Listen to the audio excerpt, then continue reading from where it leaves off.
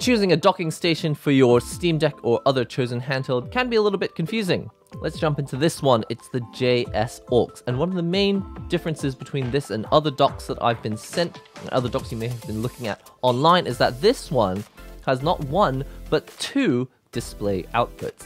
Now, there are a number of reasons why you might want to choose this dock, but you've probably looked online already and you're thinking, well, this one's super cheap, it's like $10, and this one's super expensive, it's like $100 what is actually the main point of getting a dock and how do I choose which one to get? Let's have a look at the features of the JSAUX. Now, quick disclaimer at the beginning, they sent this to me for the purposes of making this video, but I haven't been instructed to say anything specific about it, and all opinions are my own. When you choose a dock, there are a number of things you have to consider, and one of them is, will it actually do what you need it to do? Even if it looks really cool, or if it's really, really cheap if it doesn't actually do what you need it to do, and for most people that's to plug it into a large external monitor, if it can't do that, then you're going to be stuck. Is it just adding Ethernet and USB ports for you, or is it also capable of sending a video signal to an external monitor? The same way that you would expect to use a Nintendo Switch dock. What's really cool about this dock,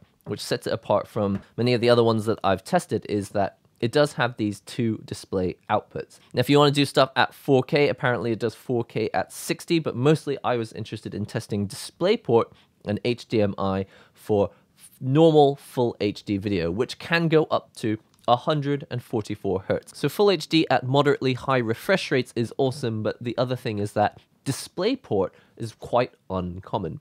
If you have a monitor that only does high refresh rates with DisplayPort, you're going to need this. On my main monitor, which I bought a while ago because I would like to play fighting games, it's 144 Hz, but only through the DisplayPort connection. When I tried the HDMI connection from here to my main monitor, I could only get 60 Hz, and I thought, okay, maybe like is the port broken or is the cable broken? Just turns out my monitor is a little bit old. It only does HDMI at 60 hertz. You can use the HDMI port as well and even though it's only going through this one USB-C connection from the Steam Deck, you can get it to send signals at 144 hertz HD to a DisplayPort monitor and an HDMI monitor. So I was able to use both and you also get the image on the screen of the Steam Deck as well, which means with two ports, DisplayPort and HDMI on here, you've also got the screen of the Steam Deck for three that's six, for three different screens when you're using this device. That's probably the most exciting thing about this dock, but it does get better because these USB-A ports, unlike most other docks which are at USB 3.0 or 3.1, this is USB 3.2, which presumably means it goes up to the higher speed of 10 gigabits per second. Don't quote me on that, but whatever it is, USB 3.2 is obviously faster than USB 3.1. So if you need that, then you have not one, two, but you have three of those ports. And then on the back here, you have one USB-C port, which is not actually for data, it's just for charging. The version that I've got here, which is $65, but usually about $55 on sale, this version comes with an AC adapter. Now this AC adapter assumes that you're going to be using it with a Steam Deck, and so the AC adapter that comes with it is 45 watts.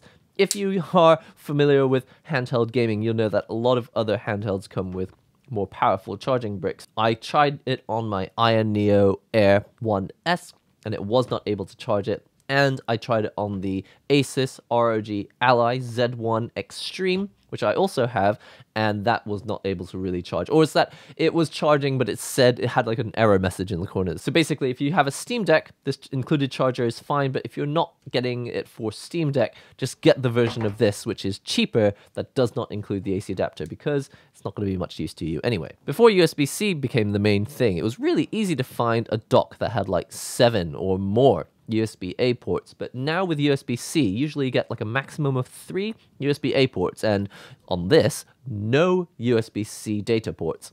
Usually you just have a USB-C charging port. At most, though, if you spend a little bit more on a dock, you might get like one extra USB-C port. So those are all the ports on the back, but you've also got the Ethernet port on the side. And that is super important because if you're playing games online, please, please, please do us all a favor do not play on Wi-Fi.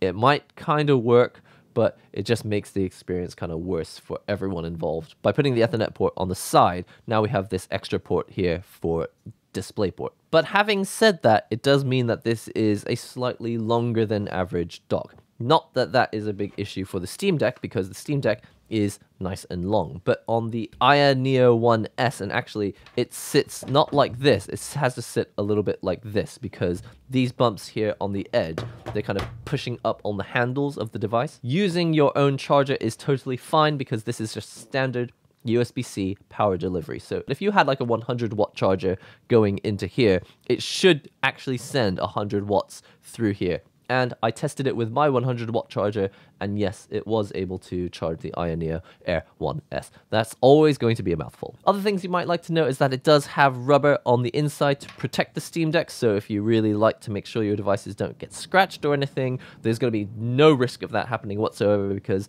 it's not like sharp metal in most places, and even where it does make contact with the dock, it's nice and soft because of these rubberized surfaces.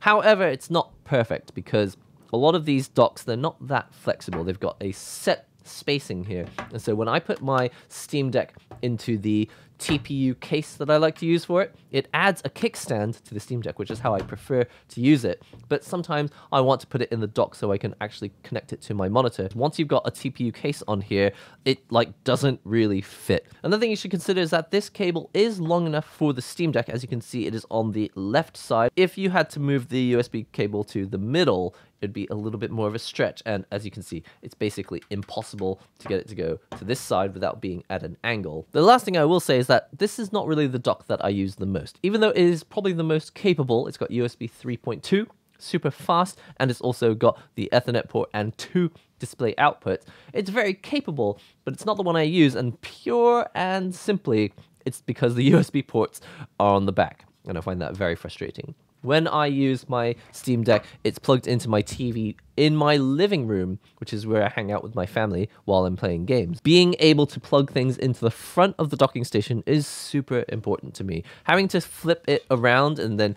just like I have to choose like when it's sitting uh, next to my TV in the living room, do I have the Steam Deck like sideways? Do I have it facing me? Do I have it facing away so I have access to the cables, but then it looks really ugly? Essentially, the best dock for me is one that has USB ports on the front, especially if you're using it in a living room. To be honest, even when I was testing it at my PC setup, I just really disliked having to reach around and have to go over here to like press these cables in. But that's not really like a big flaw of this specific dock almost every dock has the ports at the back. There's only one that I've tested that had the ports on the front, and I absolutely loved that one. I just noticed there's rubber feet on the base as well. Not sure about all the different regions, but the one that I have came with these adapters so that you can actually change the shape of the charger. It's a very clever design actually because the AC adapter it comes with, this actually flips out, which is nice so it doesn't stab anything in your bag when you're transporting it. But when you flip it up, it actually does use those flipped up pins to send the power through. Is that common? I've never seen it before, but it's quite cool that these pins, even though they're faced up like this and folded in, you can still access them by using these little covers. I'm not 100% sure what this is for. All right, this is a mystery to me. I don't know why there's a right angled USB-C to USB-C adapter in here, but if you know, let me know in the comment section below. That's it for the JS Aux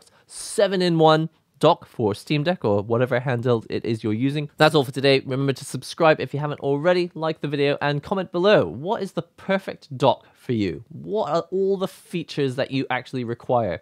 from your Steam Deck because I make a lot of assumptions about what people are using their Steam Deck for when they're docked into their monitors, but maybe you don't even use an external monitor. Maybe you just need extra USB ports, or maybe you like the ones that have USB ports on the front. What is the perfect dock for you? Let me know in the comments section below. That's all for now. I'll see you real, real soon.